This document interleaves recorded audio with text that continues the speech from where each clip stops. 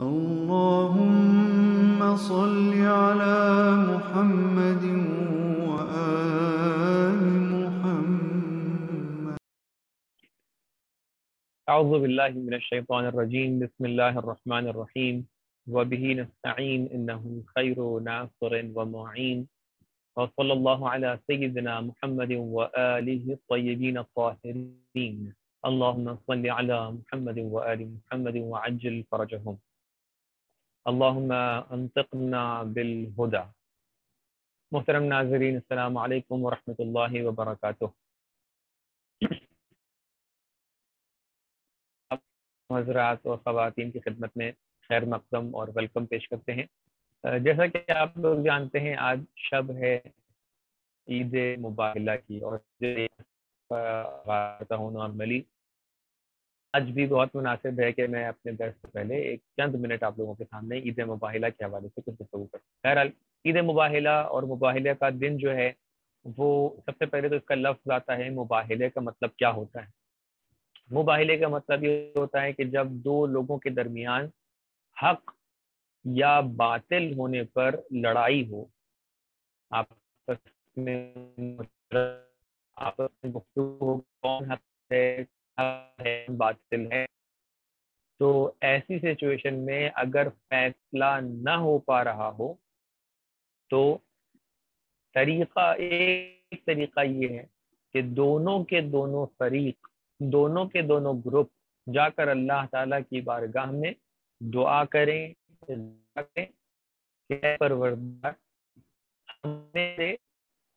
अगर हम सच हैं तो जो सामने वाला है उस पर तेरी लानत हो और तेरा आजाब नज़र तो ये एक बहुत ही एक कह सकते हैं लास्ट मरहला है कि जहाँ पर किसी और तरीके से फैसला ना हो पाए और कोई चाहता हो कि अल्लाह में जाके इस तरीके से दुआ, जिसको हम बद कह सकते हैं बद करे। तो पैगंबर के ज़माने में नजरान नाम की एक जगह थी कि जहाँ पर मसीही लोग रहा करते थे, वो अल्लाह ताला को मानते थे। लेकिन पैगंबर की, के साथ उनका सेटलमेंट इस हवाले से नहीं हो पा रहा था कि वो मुसलमानों को एक्सेप्ट नहीं करना चाह रहे थे। और मुसलमान, मुसलमानों के साथ वो अपनी जो दुश्मनी है उसको दिखा रहे थे।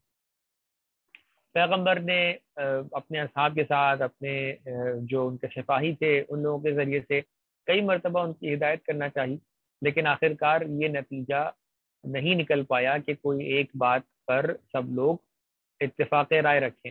लिहाजा ये तय पाया कि मुबाहला किया जाएगा। तय क्या पाया कि पैगंबर अपनी तरफ़ से औरतों की नुमाइंदगी में किसी को लेकर आए अपनी नुमाइंदगी में किसी को लेकर आए बच्चों की नुमाइंदगी में किसी को लेकर आए और सामने से जो उनके आ, कह सकते हैं जो एनिमीज हैं वो भी अपने औरतें बच्चे बुज़ुर्गों में से सबसे नुमाइंदों को लेकर आए रिप्रेजेंटेटिव लेकर आए। और ये तय पाया। तो पैगंबर अक्रम वसल्लम ने आज के दिन ही, यानी जो आयत ततहीर का नजूल है, उसके हवाले से एक रिवायत ये है कि आयत ततहीर आज के दिन ही नाजिल हुई थी, यानी ईद मुबाइला के दिन नाजिल हुई थी। पैगंबर सुबह में गए जनाब सैदा के घर और आपने अपनी अबा के नीचे, जो हम लोग उसको चादर भी कह सकते हैं, आपने अपनी अबा के नीचे हज़रत अमीर कायनात, हज़रत जहरा सलाम इमाम हसन, इमाम हुसैन सलाम को जमा किया और अल्लाह ताला से दुआ की कि अल्लाह ताला सब नबी के एक अहल बैत हुआ करते हैं, मेरे अहल बैत ये हैं। उनको अहल बैत कहकर पहचानवाया, अहल बैत कर कहकर बताया। यकीन अल्लाह ताला तो जानता था, लेकिन पैगंबर ने दूसरों को पहचानवाने के लिए ये काम किया। उसके बाद आयत तस्वीर नाजिल हुई और इसी दिन हज़रत अमीर कायनात अली अबी तालिब सलाम ने रुकू की हालत में वो जो अंगूठी के ज़रिए से सदका दिया था, वो भी आज के दिन ही रूनुमा हुआ था। तो आज का दिन यानी मुबाहिले का दिन, बहुत ही मुबारक दिन है। और उसके बाद वो नतीजा हुआ था कि पैगंबर अपने घर को, अपने अहल बैत को, यानी इमाम अली सलाम को, जनाब सैदा को, इमाम हसन और इमाम हुसैन को लेकर मैदान में गए और मुबाहिला करने के लिए आगाज़ के लिए जब आगे गए तो नजरान के मसीहियों ने, नसारा ने मुबाहिला करने से मना कर दिया। क्योंकि जब उन्होंने ये नूरानी चेहरे देखे और देखा कि जिस हिसाब से हम चेहरे देख रहे हैं, अगर ये दुआ कर दें तो फिर इंसान तो नाबूद हो जाएगा, अगर ये बद कर दें तो। तो इसलिए उन लोगों ने अपने कदम पीछे हटा लिए और कहा कि हम लोग आपकी बात पर राज़ी हैं। लिहाजा, ये दिन बहुत ही मुबारक दिन है। आप तमाम हजरात की खिदमत में मुबाइला की मुबारकबाद भी पेश करते हैं और इसके जो अमाल हैं जैसे ज़्यारत जाम कबीरा कल के अमाल में से है जैसे गौसली कल के अमाल में से है इनको इनशाला आप लोग अंजाम दीजिएगा कि जो आप लोग के पास सॉफ्टवेयर या कुतुब होंगी अमाल के, उसमें आप देख सकते हैं।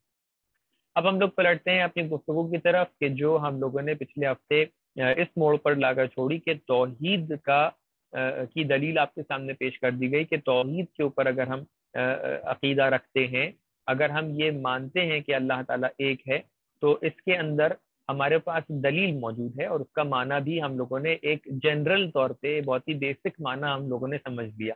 तोहीद का मतलब किसी चीज़ को एक जानना।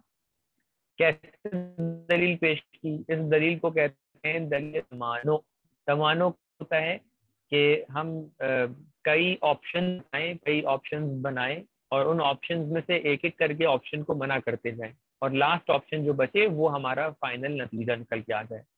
दलील क्या थी? यही थी कि अगर दो खुदा होंगे तो आपस में इख्तलाफ होगा।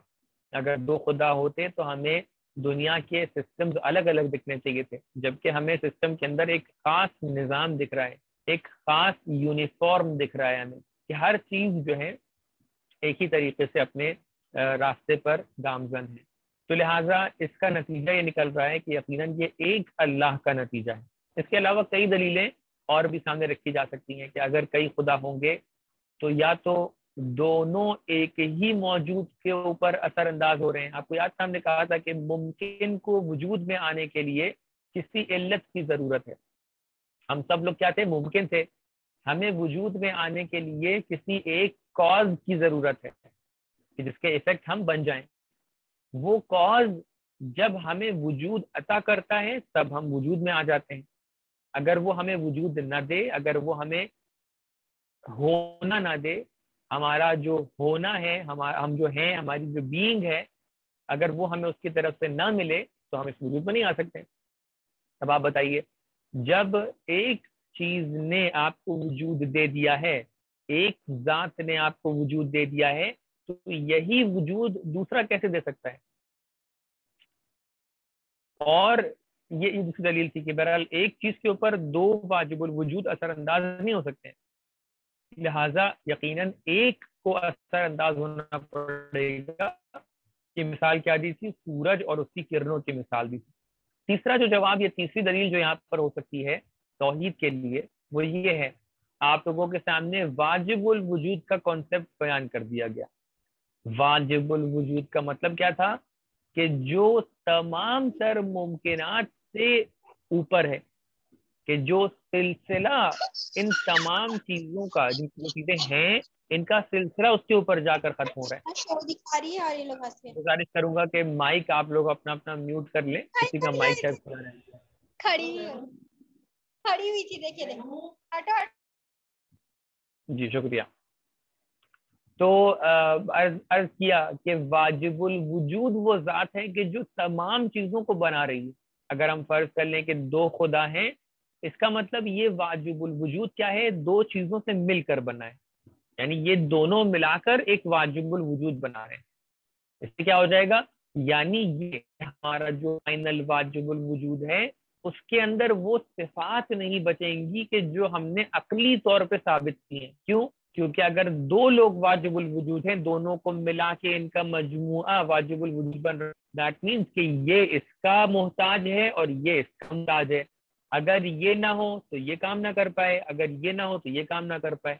अगर दो चीज़ें की मोहताज हो जाती हैं तो फिर ये वाजिबुल वजूद नहीं कहलाती हैं। वाजिबुल वजूद की सिफात में से हम लोगों ने क्या कहा था? कि जो तमाम चीज़ों के ऊपर अहाता रखता है, कुदरत रखता है, जिसके पास कुदरत मुतलक है, वो वाजिबुल वजूद है। लिहाजा जो चीज़ एक किसी दूसरे का मोहताज हो जाए, आप फ़र्ज़ कीजिए आप एक ज़मीन खरीदिए, लेकिन आप उस ज़मीन खरीदने में किसी को अपना पार्टनर बना लीजिए। जब आप किसी को अपना पार्टनर बनाएँगे दैट मीन्स कि आप ज़मीन खरीदने में, अब अगर आप इस ज़मीन को बेचना चाहेंगे तो आप अकेले इस इस ज़मीन को बेचने पर कुदरत नहीं रखते हैं। आप मोहताज हैं कि आपका पार्टनर भी आए आपकी हेल्प करे आपको इजाज़त दे तब जाके आप उस, उस ज़मीन को बेच सकते हैं। क्यों? क्योंकि आप लोग पार्टनर्स बन गए। अगर वाजिबुल वजूद दो पार्टनर्स मिलके वाजिबुल वजूद बनेंगे तो इसका मतलब वो दोनों एक दूसरे के मोहताज हो जाएँगे। अगर वो दोनों एक दूसरे तो इसका मतलब उनके पास मतलब कुदरत नहीं बचेगी। हम लोगों ने क्या तय किया था? वाजिबुल वजूद, क्योंकि सबको वजूद अता कर रहा है। लिहाजा उसके पास क्या है? सबसे अल्टीमेट कुदरत उसके पास मौजूद है। बहरहाल तो ये भी एक दलील थी। आखिरी सवाल मैं यहाँ पर ये करूँगा कि अगर आप लोग इस बात पर तवज्जो करें वाजिबुल वजूद क्या है, अगर आप लोग इस बात पर तवज्जो करें कि जितनी भी चीज़ें हैं, एक मिनट के लिए आपकी तस्वुर अपने में लेके आइए। जब हम लोग कहते हैं कि फ़र्ज़ कीजिए एक ग्लास है। हम लोग कहते हैं इंसान है। हम लोग कहते हैं मोबाइल है। आप लोग की तवज्जो चाहिए बहुत ज़्यादा। तो देखें, ग्लास, इंसान, मोबाइल। तीन एग्जाम्पल्स मैंने आप लोग के सामने दिए। तीनों के आगे मैंने क्या लफ्ज लगाया? है। यानी जब हम कह रहे हैं ग्लास है तो वहाँ पर भी एक है का वर्ड आ रहा है। इंसान है, यहाँ पर भी एक है का वर्ड आ रहा है। और मोबाइल है, यहाँ पर भी एक है का वर्ड आ रहा है। दैट मीन्स कि ग्लास होना एक अलग चीज़ हो गई। होना एक अलग चीज़ हो गई। मोबाइल होना एक अलग चीज़ हो गई। लेकिन तीनों के दरमियान एक चीज़ कॉमन है। वो क्या कॉमन है? होना। तीनों चीज़ हैं ऐसे ही है ना? आप लोग को समझ में आ रहा है ना? आप लोग प्लीज़ कमेंट के अंदर अपने इस बात की तारीफ़ करें कि आप लोग को समझ में आ रहा है कहीं ऐसा तो नहीं मैं गुफ्तु किए जा रहा हूँ और वजाहत पेश किए जा रहा हूँ, लेकिन आप लोग के ऊपर से बात गुजर रही हो बाउंसर हो, ऐसा तो नहीं है। आप लोग को बात समझ में आ रही है ना? जो एग्ज़ाम्पल दे रहे हैं, कि हमने तीन एग्ज़ाम्पल दिए। तीनों के अंदर एक चीज़ कॉमन है, वो क्या है कि तीनों चीज़ें हैं। बिल्कुल, बिस्मिल्लाह। तो तीनों में से एक चीज़ क्या है? वो क्या कॉमन है कि वो है? क्या मतलब इस दुनिया में जितनी भी चीज़ें आपको देखेंगी, जो मुमकिन चीज़ें हैं, मुमकिनात की तस्वर आपके सामने पेश किया था, एक मुमकिन है, जितनी भी चीज़ें हैं, और एक वाजिब है। जितनी भी चीज़ें हैं जिनको हम मुमकिनात के दायरे में लेकर आ रहे हैं, उनके अंदर ये सिफत पाई जाएगी कि एक उनकी आइडेंटिटी होगी और एक उनका होना होगा। मैं इंसान हूँ, ये इंसान है तो इंसान होना मेरी आइडेंटिटी है और होना एक आइडेंटिटी के साथ एक हमारी सिफत है, क्या हम है? मोबाइल है, मोबाइल होना उसकी आइडेंटिटी है, होना उसके और मेरे दरमियान कॉमन है, दोनों लोग हैं। आपके वालदेन हैं, वालदेन होना उनकी आइडेंटिटी है और उनका होना आपके और हमारे दरमियान क्या है? कॉमन है। अल्हम्दुलिल्लाह, आप लोग के सामने ये बात वाज हो गई। अब जितना भी होना होना होना होना होना होना है, इसको समेट कीजिए यानी हर चीज़ के अंदर एक आइडेंटिटी आपको दिख रही है और एक उसका होना, उसकी बीइंग उसका एग्जिस्टेंस है, उसका वजूद है। जब ये सारे वजूद मिला लीजिए तो एक तस्वुर निकालिए अल्टीमेट एग्जिस्टेंस का। यानी इन तमाम चीज़ों के दरमियान जो चीज़ मुश्तरक है जो चीज़ कॉमन है, वो है एग्जिस्टेंस वो है होना। इस होने को, ये जो अल्टीमेट रियलिटी है, यानी सबसे मुतलक वजूद को वाजिबुल वजूद कहा जाता है। समझ रहे हैं आप लोग, गौर फरमा रहे हैं कि अल्लाह ताला की जात क्या जात है? अब यहाँ से मेरे सवाल का जवाब दीजिए जब जितना भी होना है वो अल्लाह ताला है। तो क्या इसके अलावा भी कोई और तस्वुर है? क्योंकि या तो कोई चीज़ होती है या नहीं होती है। जो चीज़ नहीं है, उसका तो हम तस्वुर कर ही नहीं सकते। लिहाजा जो भी चीज़ दुनिया में है, वो अल्टीमेट एग्जिस्टेंस के अंडर है। उसका मतलब क्या है? यानी अल्लाह ताला का जो वजूद है वो वो अल्टीमेट एग्जिस्टेंस है। इसके अलावा कोई तस्वुर ही नहीं है जो आप कहें कि कोई और खुदा हो सकता है। यानी पता नहीं आप लोग तक ये बात पहुँच पाई या नहीं पहुँच पाई। आप एक तस्वुर कीजिए कि मैंने एक कहा कि दुनिया भर का पानी इस कटोरे में जमा हो गया। तो क्या वो क्या मतलब निकला कि इस दुनिया में एक कतरा भी पानी नहीं है सिवाय इस कटोरे के। अब जितना भी पानी है पूरी दुनिया में आप लोग तक के उम्मीद है कि मेरे नेटवर्क में कोई प्रॉब्लम नहीं आ रही होगी, या आवाज़ पहुँचने में कोई प्रॉब्लम नहीं आ रही होगी। तो जितना भी पानी है, उसको मैंने एक इस कटोरे में जमा कर दिया है। अब इस दुनिया में कहीं पर भी एक कतरा भी पानी मौजूद नहीं है। अब आपसे आकर कोई कहे कि क्या कोई दूसरा पानी भी बन सकता है? आप क्या कहेंगे? आप कहेंगे, भाई, जब सारा पानी इस कटोरे में जमा हो गया बहुत बहुत शुक्रिया। आप कहेंगे, जब सारा पानी इस कटोरे में जमा हो गया तो अब दूसरा पानी कोई है ही नहीं, हो ही नहीं सकता। जब कोई दूसरा पानी हो नहीं सकता है तो फिर उस पानी के बारे में क्या गुफ्तगु की जाए? यहाँ पर भी यही मसला है कि अल्लाह ताला वो वजूद मुतलक है, वो वाजिबुल वजूद है। उसके अलावा तो कोई चीज़ हो ही नहीं सकती। जो भी चीज़ होगी वो इसके अंडर में होगी। तो फिर दूसरे खुदा का तस्वर कहाँ से आ सकता है? ये है तोहहीद का मतलब। उम्मीद है कि आप लोग को ये बात समझ में आई हो। क्योंकि आज काफ़ी कुछ गुफ्तु करनी है, लिहाजा मैं इससे मजीद आप लोग के सामने तफसीलात पेश नहीं करूँगा। क्योंकि इससे मजीद तफसीलात पेश करने में ज़ाहिर सी बात है और वक्त दरकार होगा कि जिसका वक्त अभी नहीं और आज मुझे अपनी गुफ्तु को पूरा समेट देना है। खूब। अब आगे बढ़ते हैं। जब हमें ये बात समझ में आ गई कि तकरीबन तोहीद का बेसिक माना क्या है और तोहीद के लिए दलील हम लोग पेश कर चुके। तो अब हम लोग का वो डिटेल वर्जन आएगा कि जहाँ पर हम लोग तोहीद के मुख्तलिफ़ मानी को आपके सामने पेश करेंगे।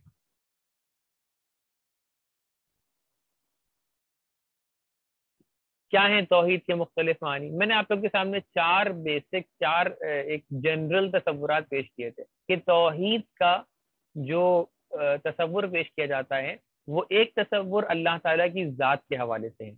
मैं पहले ये कुछ माना पेश कर दूँ तोहीद के उसके बाद फिर आप लोग के सामने और डिटेल में इंशाल्लाह बात को बयान करता हूँ। एक एक करके इस पर तवज्जो करिए।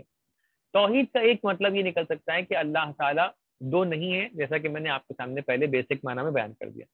दूसरा माना जो तोहहीद का निकलता है कि जिसको मैंने अभी एक्सप्लेन किया, उसको एक जुमले में अगर मैं बोलना चाहूँ, वो क्या है कि अल्लाह ताला के अंदर कोई कॉम्बिनेशन नहीं है। ऐसा नहीं है कि अल्लाह ताला दो चीज़ों से कॉम्बाइन होकर बनाए। ऐसा नहीं है कि अल्लाह ताला दो चीज़ों से ज्वाइंट होकर बनाए। नहीं। अल्लाह ताला की रियलिटी अल्टीमेट है। आप बताइए अल्टीमेट रियलिटी को आपको तस्वुर करना है? देखिए, तस्वुर उसका इस तरीके से हो सकता है। आप बताइए कि आपके अगर फ़र्ज़ कीजिए कहीं पर दर्द हो रहा है, आप फ़र्ज़ कीजिए आपने हाथ पे ऐसे करके मारा और आपके यहाँ पे दर्द होना शुरू हो गया। ठीक है? क्या आप इस दर्द को हिस्सों में तब्दील कर सकते हैं? आप कहें कि ठीक है, इस दर्द को हमने दो टुकड़ों में कर लिया है। क्या कोई कर सकता है ये काम? जी जी, शिरक के बारे में भी आज बताएँगे। देखिए, शिरक कोई नई चीज़ नहीं है। जो जो बातें हम तोहीद के बारे में बयान करेंगे, इसका दूसरा पहलू जो है, यानी सिक्के का उस तरफ़ देखेंगे तो वो शिरक सामने आ जाएगा। अगर हम कह रहे हैं तोहहीद का मतलब ये है तो इसका मतलब इसका उल्टा क्या हो जाएगा? शेर हो जाएगा। खैर, मैं लेकिन शेर की वजाहत भी आप लोग के सामने पेश करूँगा। तो अब मेरी बात तो सबसे पहली बात माना क्या होगा? सबसे पहले तोहीद का, कि तोहीद का मतलब नफ ये तद है। यानी अल्लाह ताला दो नहीं है। लिहाजा कोई शख्स अगर अल्लाह को दो, तीन, चार, दस मान रहा है तो ये शिरक है। दूसरा मरहला अल्लाह ताला किसी भी चीज़ से मुरक्कब नहीं है, मिलकर नहीं बनाए, किसी चीज़ से ज्वाइंट होकर नहीं बनाए। जैसे कि मैंने एक मिसाल दी, आपके जहन में जब दर्द का तस्वुर आ रहा है, आपके जहन में खुशी का तस्वुर आ रहा है, आपके जहन में मोहब्बत का तस्वुर आ रहा है, ये एक ऐसी रियलिटी है जिसको कहते हैं बसीत और उसके मध्य मुकाबिल कहलाता है मुरक्कब। मुरक्कब का मतलब होता है दो चीज़ें मिलकर बने। बसीत का मतलब होता है कि जिसके अंदर कोई पार्ट ना हो। आपसे कहा जाए कि भाई चाय क्या है? मैं मैं लिख दूँ मैं मैं क्लास के बाद लिख दूँगा। बसीत और मुरक्कब, ये वर्ड मैं कोशिश करता हूँ कि आप लोग के ग्रुप के अंदर लिखता जाता हूँ साथ साथ में, क्योंकि जिस मोबाइल से मैं आप लोग के सामने गुफ्तु पेश कर रहा हूँ, उस मोबाइल में मैं लिख नहीं पाऊँगा वो मेरे सामने है। तो मैं एक काम करता हूँ कि मुजीब साहब के मोबाइल पर साथ साथ में लिखता चला जाता हूँ। बसीत।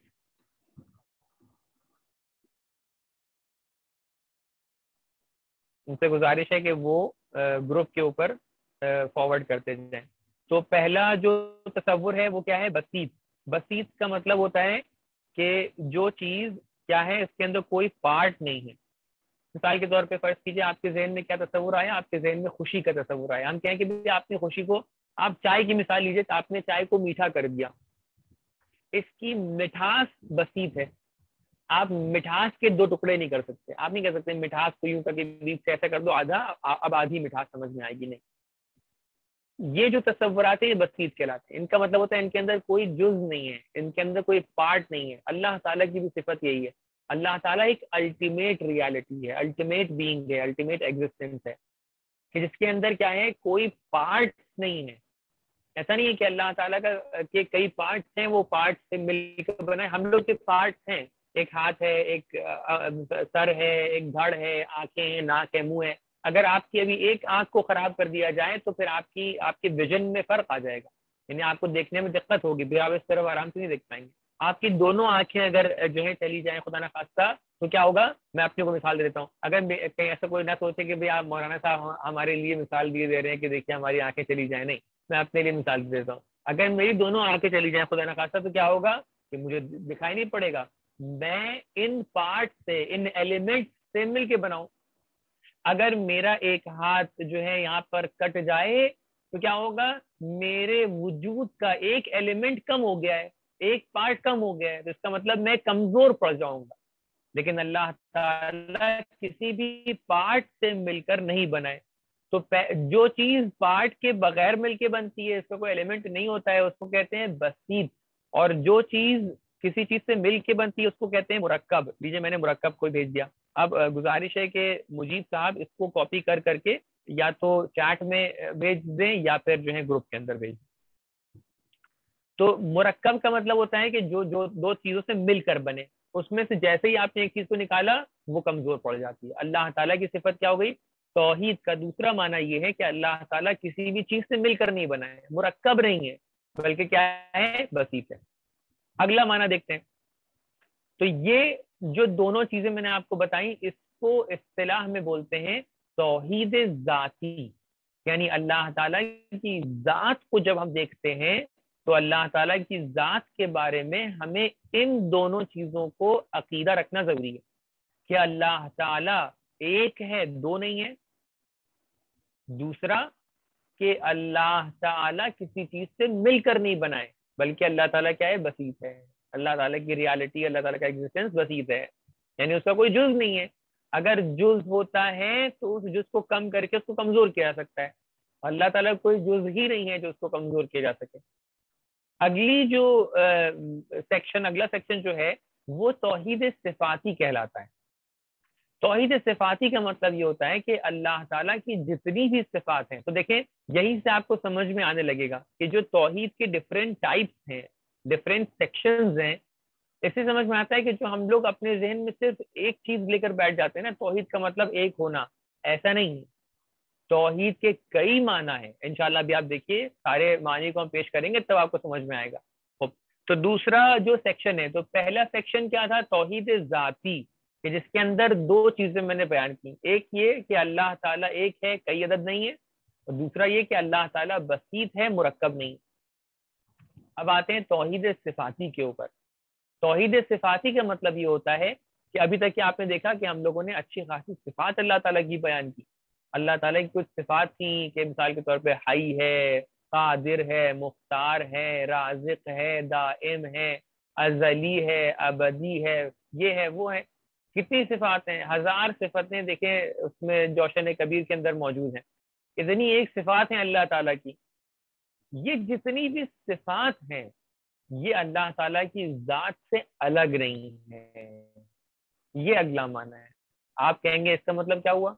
अभी आपको मैं, देखिए, इंसान की सिफात उसकी जात से अलग होती है। हम लोग अपने माँ बाप के, अपने माँ बाप से जब पैदा होते हैं इस दुनिया में तो हम लोग को कुछ नहीं आता। होता है?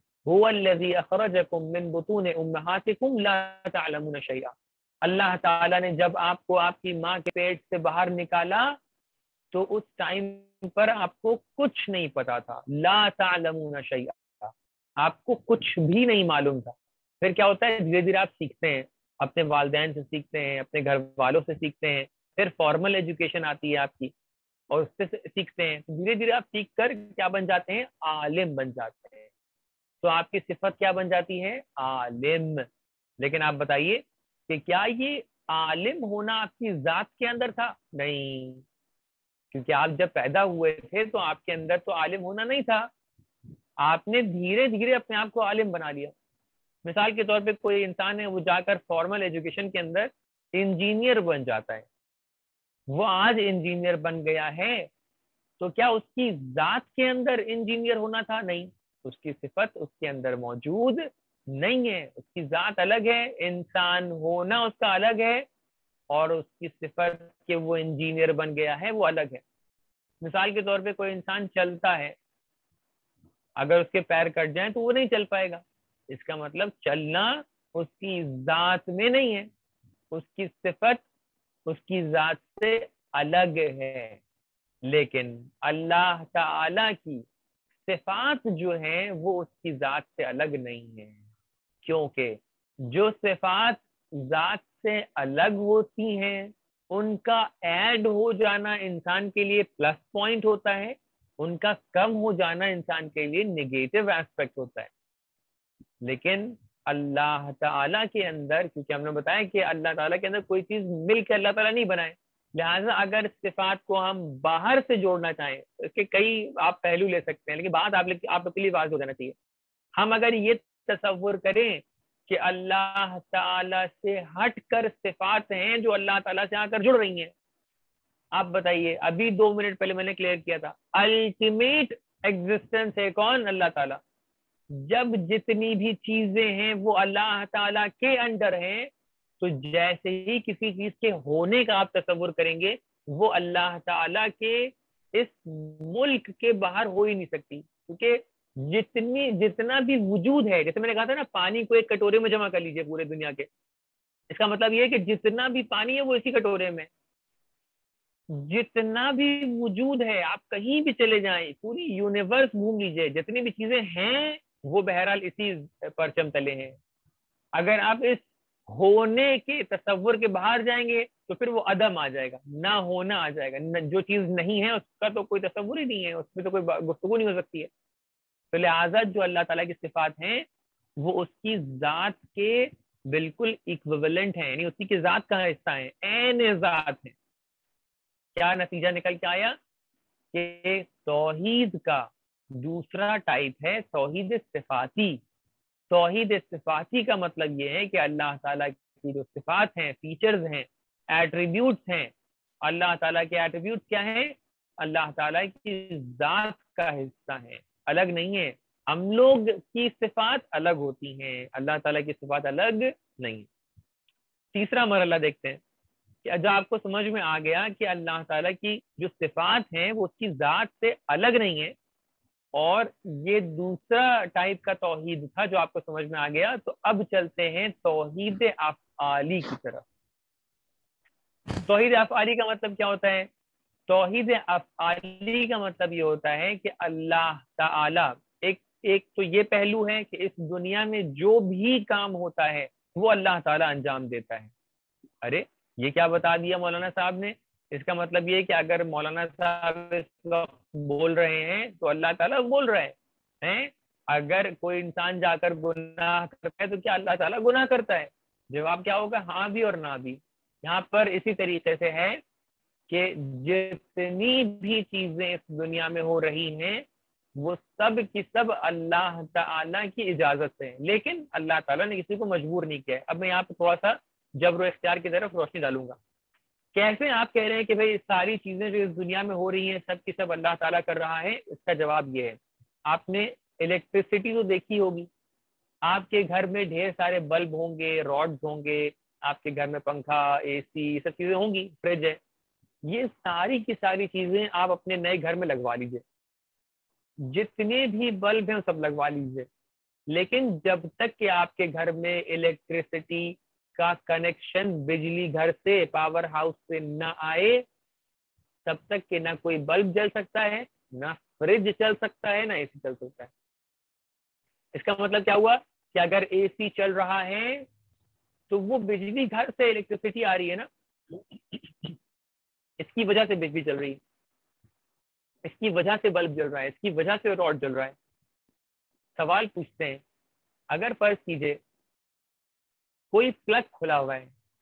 एक बच्चा आकर उस प्लग के अंदर अपनी उंगली डाल दे। और उसके और उसके करंट लग जाए। करंट लग जाए। करंट लगते ही बच्चे के कुछ हो जाए।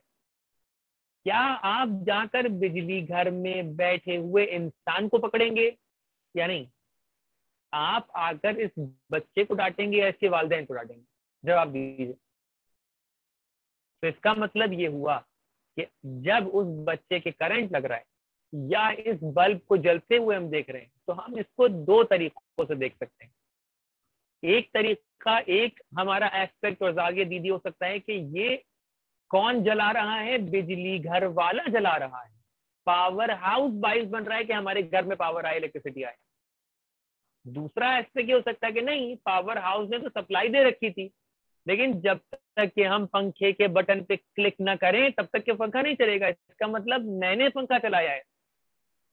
यहाँ पर इलेक्ट्रिसिटी की सप्लाई की बात हो रही है। अल्लाह ताला वो है कि जिसने आपको इख्तियार सप्लाई किया है। अल्लाह ताला वो है जिसने आपको कुदरत सप्लाई की है। अल्लाह ताला ने कुदरत आपके पास सप्लाई कर दी। कनेक्शन हो गया।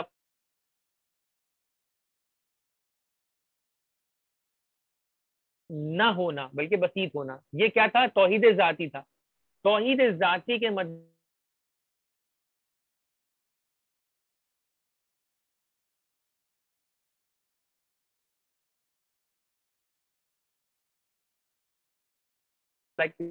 अल्लाह ताला की जात का है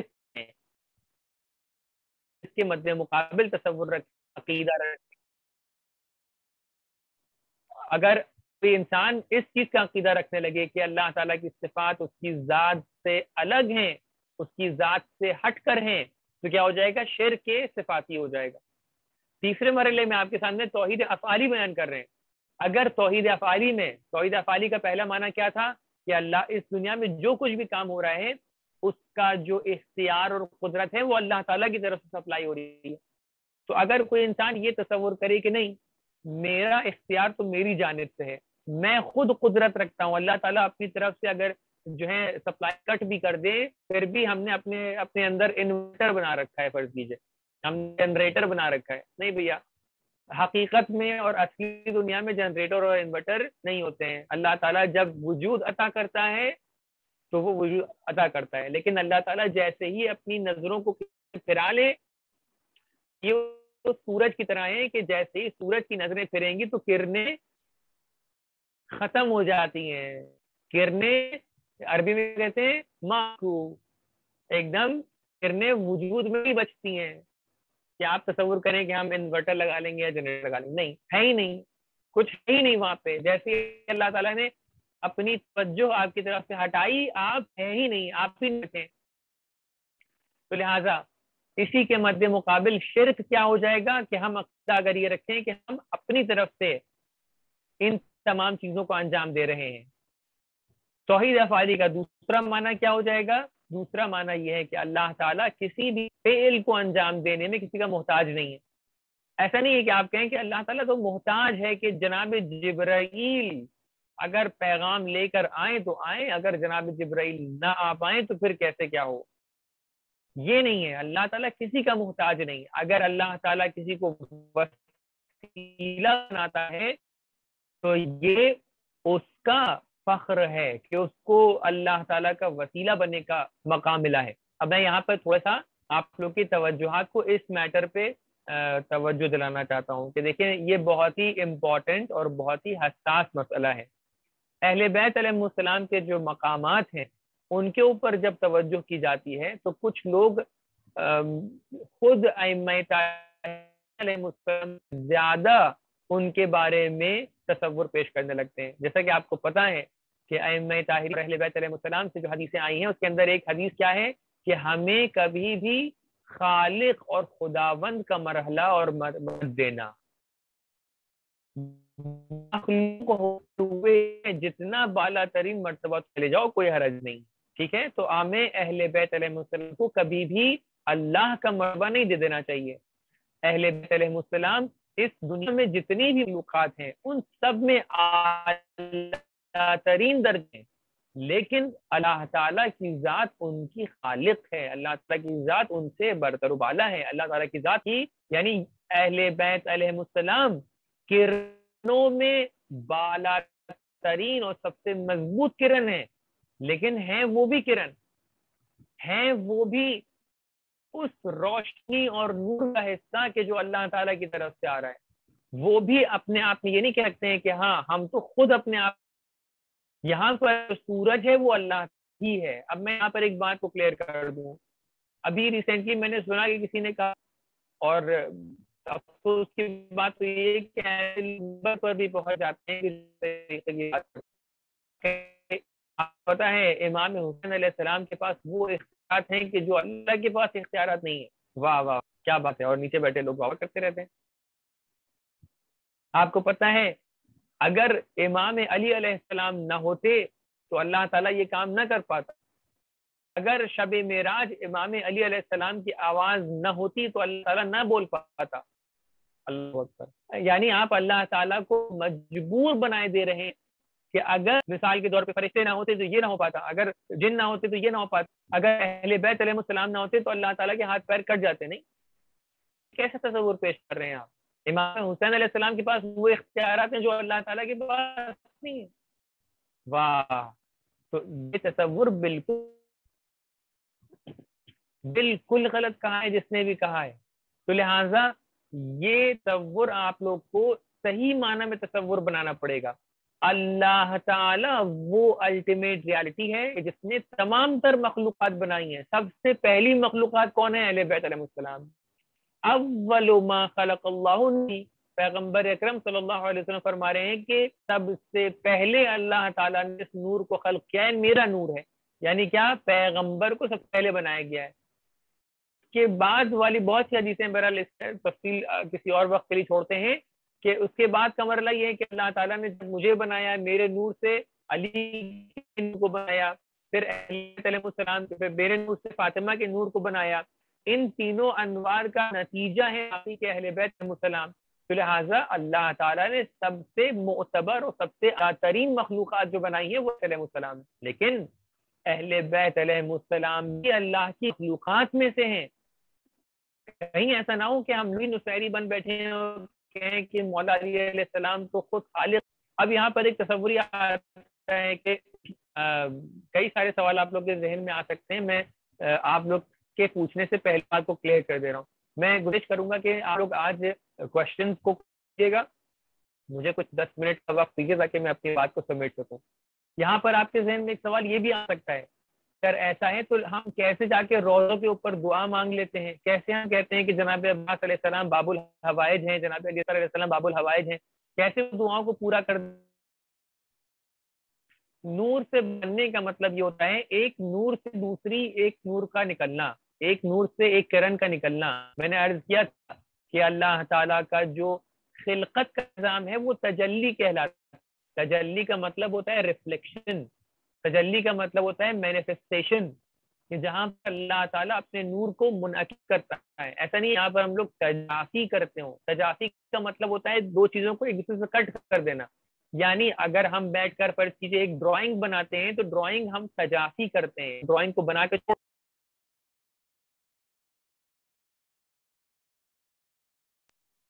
लेकिन तो तजल्ली होती है, उसके अंदर मैनिफेस्टेशन होता है। उसके अंदर क्या होता है कि अल्लाह ताला जब बनाता है तो जब तक कि वो चीज़ है, तब तक अल्लाह ताला से उसका कनेक्शन बाकी रहता है। तो लिहाजा नूर से ऐसी खिलकत होती है। अब वो एक बहुत लंबी तफसील है, मैं सारी चीज़ें आपके सामने बयान नहीं कर सकता इस वक्त। तो लिहाजा ये बात आपके लिए वाजी हो गई कि अहले बैतम में से जो बाबुल हवाइज का रुतबा दिया जाता है, या बहुत से मकाम पे आपने मिसाल के तौर पर देखा है, इमाम हुसैन की विरादत पर वो हदीस बयान की जाती है। इमाम हुसैन ने फितरुस को कर दे दिए या इस तरीके की बातें कि किसी का बेटा उसके हक में नहीं लिखा था, उसको सात बेटे तय कर दिए। ये इनका एक्सप्लेनेशन है। ये हदीसें सही हैं उनका एक्सप्लेनेशन है। एक्सप्लेनेशन ये है कि जहाँ पर अल्लाह ताला कह रहे हैं, बाबुल हवाइज हैं, या इमाम अली सलाम अपनी कुदरत दिखाकर एक मोजिजा दिखा रहे हैं, किसी मुर्दे को ज़िंदा किए दे रहे हैं यहाँ पर जो कुदरत है, कुदरत दो तरीके की होती है। एक कुदरत होती है कि जो इंडिपेंडेंटली आपके पास होती है और किसी के पास नहीं है। यानी ये कुदरत आपने खुद जनरेट की है। फ़र्ज़ कीजिए इन्वर्टर के ज़रिए से आप बल्ब जलाइए। इसका मतलब यह है कि इन्वर्टर क्योंकि आपके पास मौजूद है, आपने इलेक्ट्रिसिटी खुद जनरेट की है। लेकिन एक कुदरत वो होती है कि जो कहीं और से आ रही है। यानी ये इंडिपेंडेंट कुदरत नहीं है, बल्कि डिपेंडेंट कुदरत है। यानी किसी और की कुदरत है, आप तक पहुँच रही है। ये उसी तरीके से है कि इलेक्ट्रिसिटी का कनेक्शन है, आप यहाँ पर बल्ब जला रहे हैं। अब ये जो बल्ब जला रहे हैं, आप बल्ब तो जला रहे हैं, लेकिन आप किसकी मदद से जला रहे हैं? जो आपको सप्लाई कर रहा है, उसकी मदद से। अगर किसी फर्द को, अहले बैत सलाम को, अगर सलाम को कुदरत अता की गई है तो अहले को क्लियर किया है कि ये उन्हें खुद जनरेट नहीं की है, बल्कि अल्लाह ताला की दी हुई कुदरत है। अल्लाह ताला की दी हुई तो लिहाजा सलाम आपकी हाथों को पूरा करते हैं। जाकर अगर रोज़े पर दुआ मांगते हैं तो बिल्कुल सही दुआ है। आप उनसे दुआ मांग सकते हैं। जैसे आप अपने वालदेन से कहते हैं कि पानी का गिलास आकर हमको दे दीजिए, आप किसी से कहते हैं, भाई, हमारी मदद कर दो। तो यहाँ पर ये नहीं चाह रहे होते हैं कि हम कहें कि, भाई, तुम उस कुदरत से मेरी मदद करना कि जो कुदरत तुम्हें अल्लाह ने नहीं दी है। क्या आपके जहन में ये बात आती है? आपका अकीदा ये रहता है कि नहीं, कुदरत तो जिसके पास भी है, अल्लाह ताला की दी हुई है। अगर मैं तुमसे मदद मांग रहा हूँ तो यहाँ पर मदद किस बारे में है? मदद इस तरीके से है कि बहरल आपके पास जो अल्लाह ने कुदरत दी है, उसको मुझ तक के पहुंचाइए।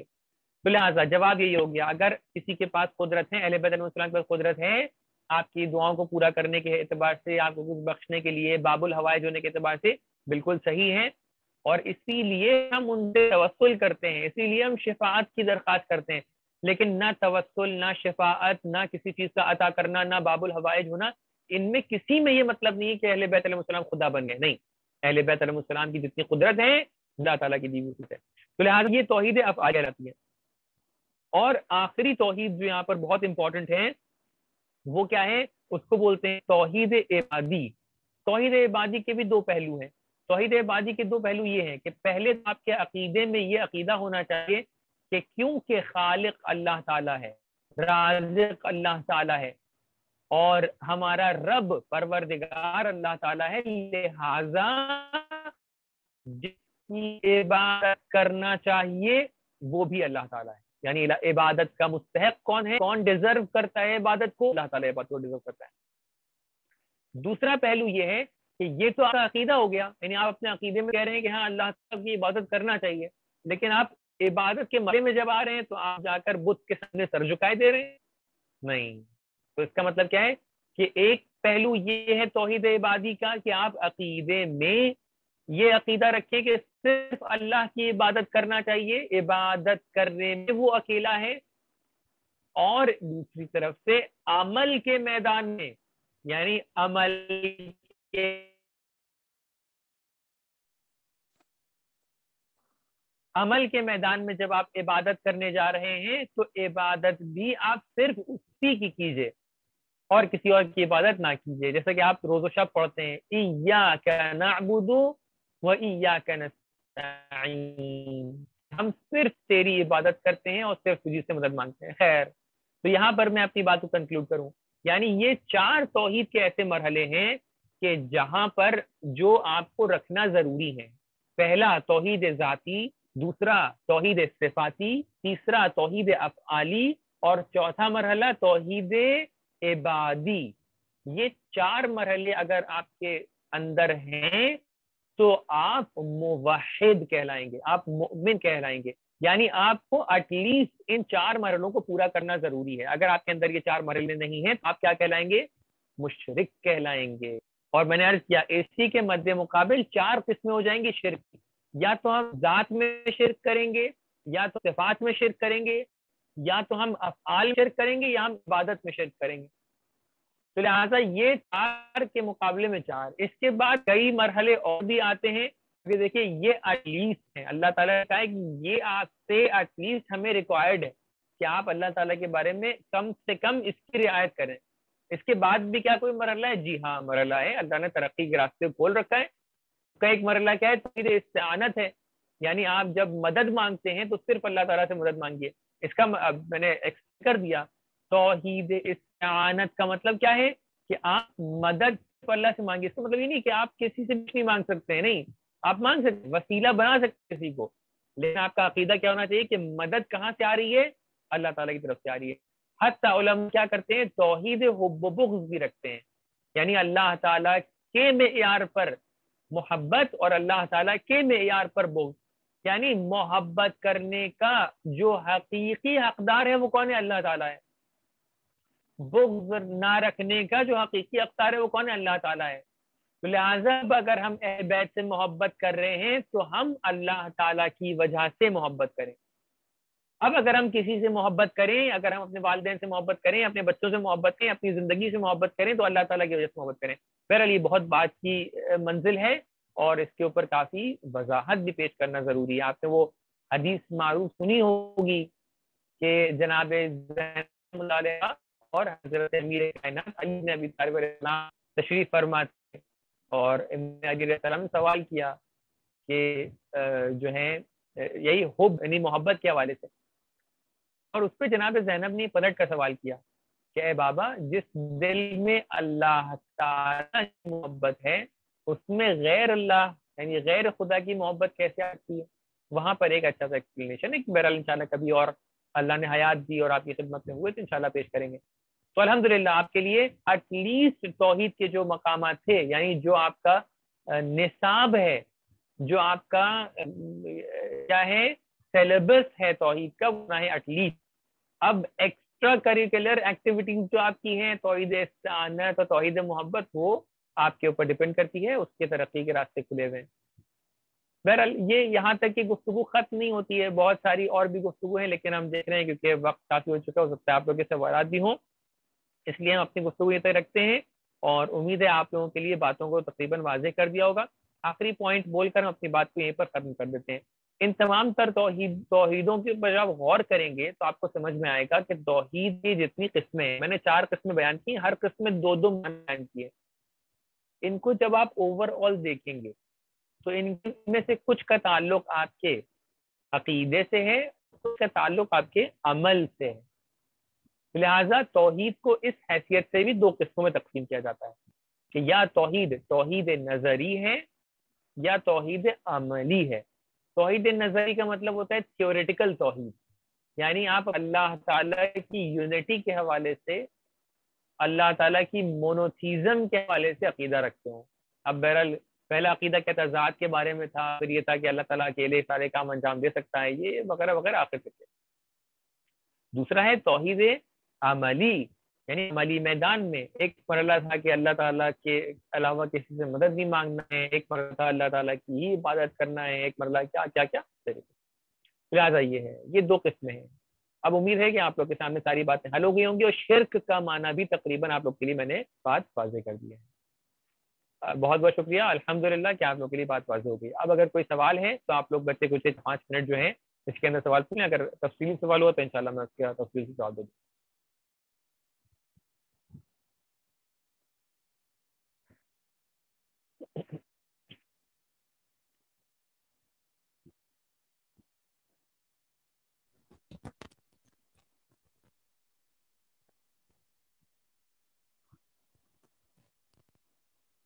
वालेकुम अस्सलाम रहमतुल्लाह आवाज़ थोड़ी हल्की है आपकी थोड़ा तेज बोलिए। सलामकुम आवाज़ आ रही है मेरी? जी जी अब आ रही है। जी आ, सारे पार्टे पार्टिसिपेंट्स अगर आप लोगों को मतलब ये आखिरी दर्स है आपको कोई भी सवाल हो तो आप पूछ सकते हैं एंड अनम्यूट कर सकते हैं आप लोग। आप जी।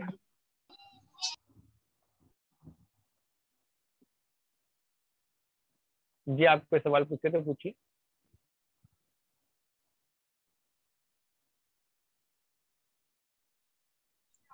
जी, जिसको जो भी सवाल हो जल्दी मतलब लाइक अनम्यूट करके आप पूछ सकते हैं आखिरी दर्श है इसके बाद इनशाला मतलब बेहतर रहेगा इसमें पूछ लें आप लोग जो भी सवाल आपको रहेगा।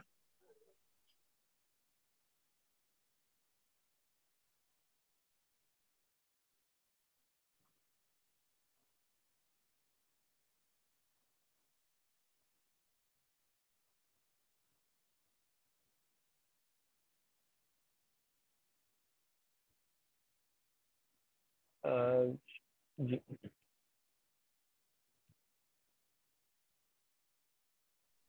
अच्छा सवाल यह है कि अगर हम शिरक कर रहे हैं तो हमको पता कैसे चलेगा कि हम शिरक कर रहे हैं? देखिए, ये सवाल तो बहुत ही वाज है, यानी बहुत अहम सवाल भी है कि इंसान कैसे मालूम करे कि वो शिरक कर रहे हैं। सबसे आसान तरीका इसका यह है कि जितने भी अकायद और अकीदे यहाँ पर बयान हुए हैं, इन सबको एक ऑन पेपर आप लिख लीजिए एक मरतबा। तो देखिए, हमें इन इन चीज़ों पर अकीदा रखना ज़रूरी है। तो एक तो अकीदे का मरहला है तोहहीद के अंदर, जो मैंने बताया तोहहीद थ्योरेटिकल तोहहीद जो है, नजरी तोहहीद उसको आप ऑन पेपर लिख दीजिए पूरा कि हमें ये अकीदा रखना है, ये अकीदा रखना है, ये अकीदा रखना है। और उसके आगे, अगर आपका अकीदा अभी तक ये नहीं था तो अब अपने जहन को चेंज करने की कोशिश कीजिए और उसके आगे लगा दीजिए कि इसका मतलब ये है कि हम मुवाहिद हैं, हम तोहहीद पर हैं। उसके बाद अमली मैदान में ज़ाहिर सी बात, पेपर से टिक नहीं लगा सकते। अमली मैदान में जो भी आप काम कर रहे हैं, उसके ऊपर तवज्जो करिए। हम नमाज़ पढ़ने जा रहे हैं तो क्या हम नमाज़ अल्लाह के लिए पढ़ रहे हैं या लोगों को दिखाने के लिए पढ़ रहे हैं? अगर हम लोगों को दिखाने के लिए पढ़ रहे हैं तो उसका मतलब नमाज़ भी हमारा शिरक है। अगर हम, क्योंकि नमाज़ हमें इबादत सिर्फ़ अल्लाह के लिए करनी है। तो लिहाजा इबादत में हम ये गौर करें, जो भी इबादत हम कर रहे हैं, रोज़ा रख रहे हैं, रोज़ा रख रहे हैं दिखाने के लिए या रोज़ा रख रहे हैं अल्लाह के लिए? अगर हम लोगों को दिखाने के लिए रख रहे हैं तो इसका मतलब हमने इबादत में शिरक कर लिया, क्योंकि हमने इबादत के, की नीयत में किसी और को शरीक कर लिया। हमने कहा कि, ए लोगों, आप लोग भी आ जाइए। हम क्या कर रहे हैं? नमाज़ पढ़ने जा रहे हैं। देखिए कितना, कितनी अच्छी नमाज़ हम पढ़ते हैं। देखिए कितने अच्छे से हम तिलावत करते हैं। इसका मतलब ये हुआ कि अगर हम इबादत कर रहे हैं अमल में तो हम फ़ौरन उस पर गौर करें कि हमारी इबादत में कहीं गैर खुदा तो शरीक नहीं है। मिसाल के तौर पे आप मजलिस में जा रहे हैं। आप मजलिस में जाएँ, इस वजह से जाएँ कि जो है, लोग कह रहे वाह, कितना अच्छा इंसान है कि सारी मजलिसों में जाता है आप खुद मजलिस कर रहे हैं। आप इस वजह से मजलिस करें कि दिखाएँ, अरे, हम पूरे शहर को दिखाना है कि सबसे बेहतरीन मजलिस तो हमारे घर पे होती है। इसका मतलब ये मजलिस अल्लाह के लिए नहीं कर रहे हैं आप। ये मजलिस अल्लाह की वजह से, जी अलहमद अल्लाह की वजह से इमाम हुसैन नहीं कर रहे हैं बल्कि आप अपने लिए आप लोगों के दिखाने के लिए इसका मतलब शिरक कर रहे हैं। आप मदद मांग रहे हैं, तोहिद इस्तानत मदद मांग रहे हैं। मदद मांगने में आप ये सोच रहे हैं कि हम पर कीजिए कहीं परेशान है, मालूम आपने कहा कि दो लोग मेरी इस शहर मदद कर सकते हैं। एक को क्या भाई मदद कर दोगे, उसने कहा नहीं करेंगे।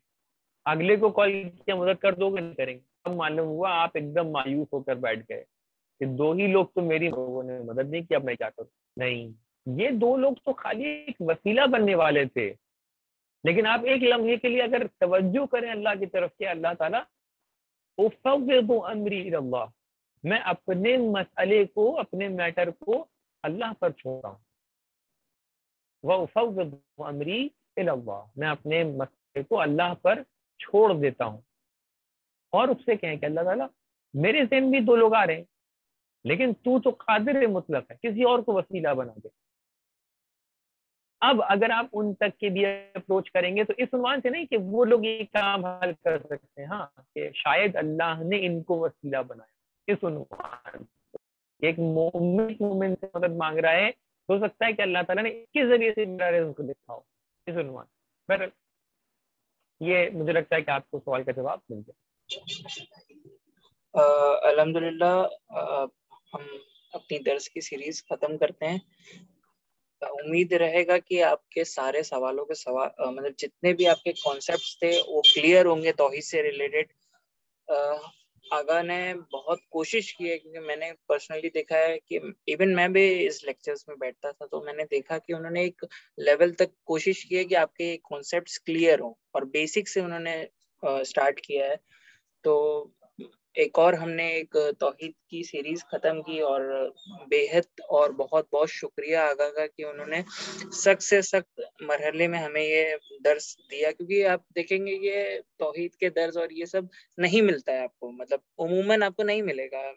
अब ये सब मदरसे में और इसमें होता है। तो ये हम लोग ने एक नई चीज़ स्टार्ट की कि ऑनलाइन में हम और रैंडम लोग हैं, जो भी हैं ज्वाइन कर सकते हैं इसको। एंड uh, हमने इसको यूट्यूब पे भी डाला है ताकि कोई अगर क्वेश्चन करे हमारे दर्द से रिलेटेड तो कर सकता है। इसमें कोई वो नहीं है कि हमने हम कुछ पढ़ा रहे हैं तो लाइक ओपन नहीं रखा है लोगों के लिए। सिर्फ़ सेलेक्टिव लोग को हम पढ़ा रहे हैं। कोई भी सवाल कर सकता है। ये एकदम लॉजिकल और बेसिक है।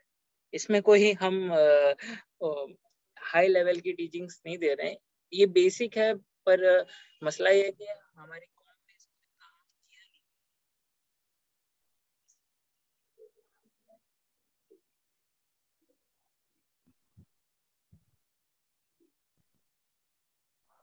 मुझे आपकी आवाज़ कट गई है। मुझ तक की आपकी आवाज़ नहीं आ रही।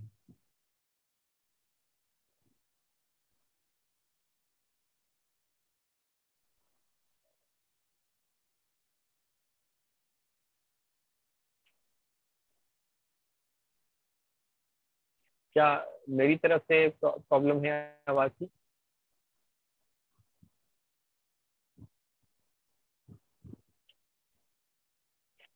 जजाकमुल्ला बहुत बहुत शुक्रिया आप तमाम हजरात का कि आप लोगों ने मेरा लेक्चर्स में शिरकत की और हमने अपनी तरफ़ से पूरी कोशिश की कि आप लोगों की खिदमत में जो भी ज़रूरी था अकीदे के हवाले से ख़ास तौर से तोहहीद पर यकीन अकायद बहुत सी और गुफ्तु बची है।